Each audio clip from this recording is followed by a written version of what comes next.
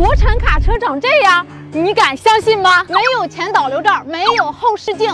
没有油箱，没有后处理，没有排气管。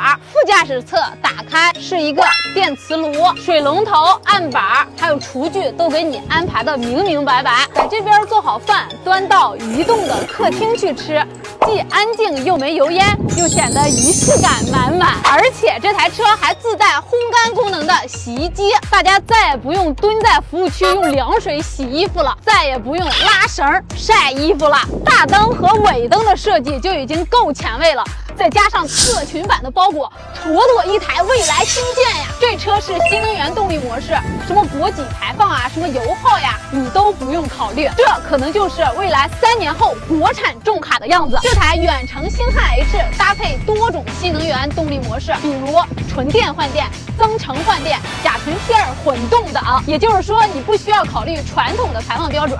只要它能跑，你就可以一直开下去。卡车不仅是赚钱的工具，也是移动的家。各位卡友，这样车满足你们对未来国产卡车的想象吗？